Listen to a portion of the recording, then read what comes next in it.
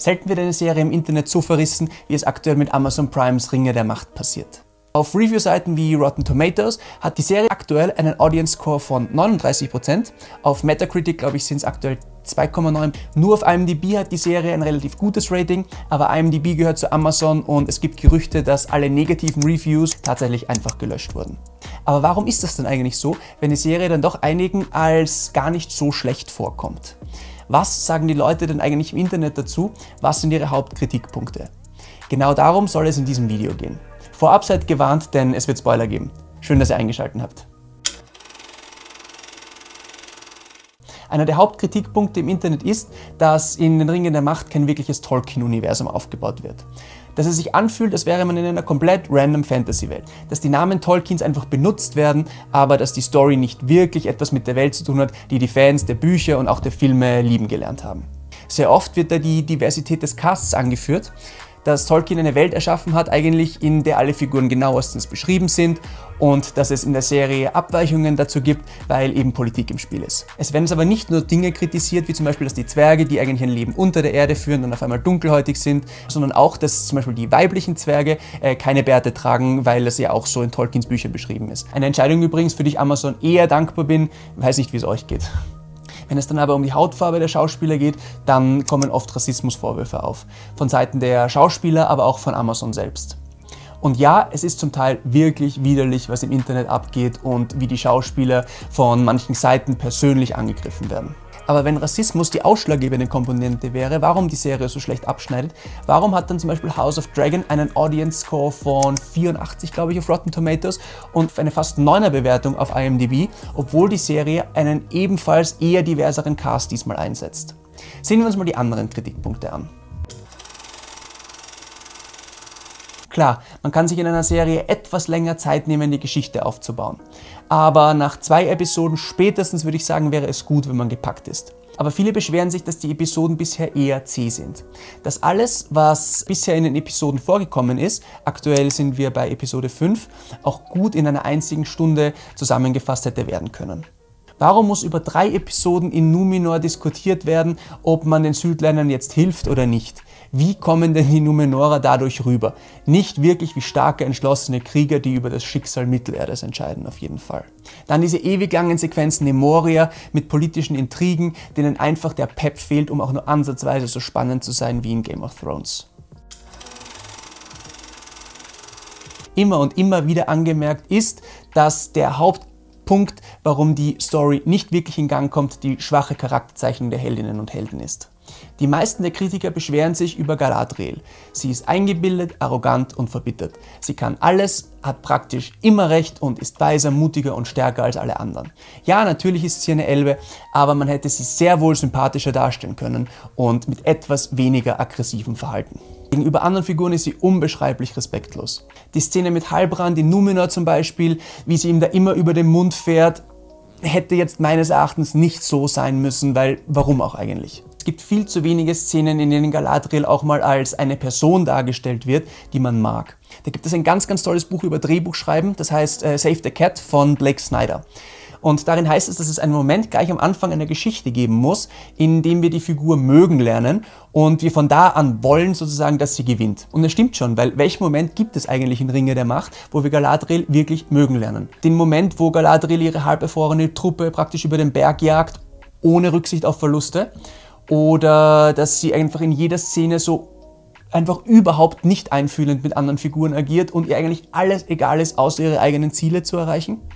Ja, das dann zu Galadriel. Aber auch wirklich interessant fand ich den Punkt, dass es keinen einzig wirklich starken männlichen Helden in der Serie gibt, der an einen Aragorn oder einen Legolas oder Boromir etc. erinnert. Also so einen richtigen, ritterähnlichen, harten Krieger, wie man sie eben aus der Originaltrilogie kennt. Arondi hatte ja das Potenzial dazu, aber wird dann gleich mal in Episode 3 versklavt und steht danach immer eigentlich eher wortlos neben Bronwyn und hat nichts zu sagen. Elrond ist halt ein Politiker, der aussieht, als würde er sich nie die Hände schmutzig machen und wird auch als Figur bisher weder sonderlich klug und interessant dargestellt. Ähm, für fünf Episoden redet er nur, bevor er endlich auch mal ein bisschen einem spannenden Dilemma gegenübersteht, das er auch lösen muss. Halbrand wird von Galadriel im Prinzip behandelt wie ein kleines, unmündiges Kind. Isildur ist ständig verträumt. Elendil ist ein Diener ohne eine große eigene Meinung. Theo, ein Junge, der vom Himmel gefallene Fremde, eine verwahrloste, wirre Figur, von der wir nach Episode 5 immer noch nicht sonderlich viel wissen. Schon komisch, wenn man eigentlich genauer darüber nachdenkt. Immerhin waren ritterliche männliche Figuren ein fixer Punkt in der Originaltrilogie. Klar ist super, wenn es auch weibliche Figuren ähm, auch mal wichtigere Rollen spielen, aber warum kann man nicht nebenbei auch ein bisschen mehr das Flair der Originaltrilogie wahren? Aber was sagt denn ihr dazu? Wie ist eure Meinung dazu? Lasst es mich gerne in den Kommentaren unten wissen. Wer könnte Sauron sein? Kennen wir ihn schon oder wird es eine komplett neue Figur werden? Klar spannend, aber es gibt auch tatsächlich Stimmen im Internet, die meinen, dass diese Ungewissheit auch viel kaputt macht. Und wenn man genau darüber nachdenkt, wird es schon Sinn machen, denn die Figuren, die potenzielle Sauron-Kandidaten sind, erscheinen eher blass, weil man eben nicht zu viel von ihrem Charakter verraten kann oder möchte, um die Spekulationen eben noch weiter aufzuheizen. So werden wir mit vielen Figuren konfrontiert, aber ohne sie wirklich zu kennen. Am Ende dieses Videos werde ich übrigens nochmal meine Einschätzung darüber abgeben, wer Sauron sein könnte und warum ich von Amazon echt enttäuscht wäre, wenn diese Einschätzung sich bewahrheiten sollte.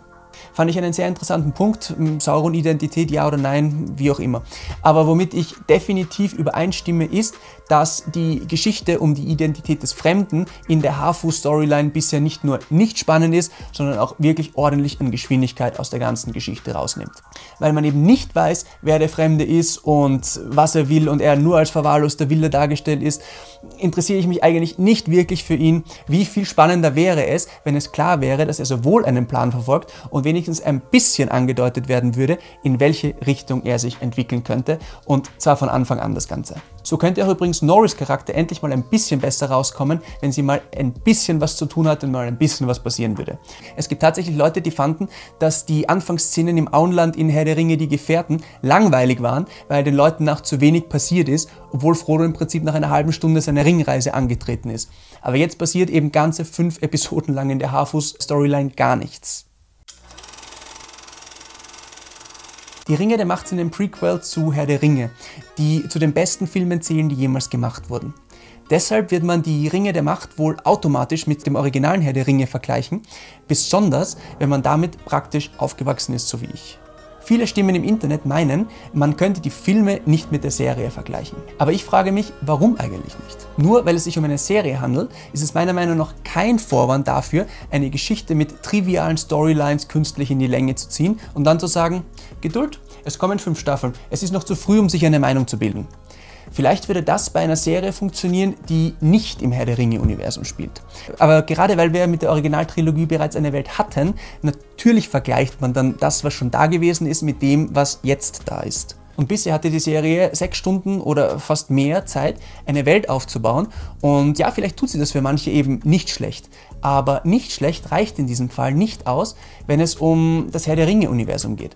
Und besonders mit einem riesengroß angekündigten Projekt wie den Ringen der Macht mit einem 1 Milliarden Dollar Budget erwarten die Zuschauer natürlich, dass einem der Boden unter den Füßen weggerissen wird und man sich komplett in dem Universum verlieren kann. Und da hatten viele einfach bisher nicht das Gefühl, weil die Serie sich in Atmosphäre und Stil und Dialogen so sehr von der Originaltrilogie unterscheidet. Es hätte locker ein bisschen mehr auf das eingegangen werden können, was Fans wirklich wollen. Ich meine, wäre es so schwer gewesen, den Elben zum Beispiel lange Haare zu geben oder Galadriel sympathisch zu machen oder die Haarfüße nicht auf Biegen und Brechen nur süß und liebenswürdig machen zu wollen, sondern ihnen noch tatsächlich einen Grund zu geben, in der Serie zu sein, beziehungsweise ihnen eine Handlung zu geben?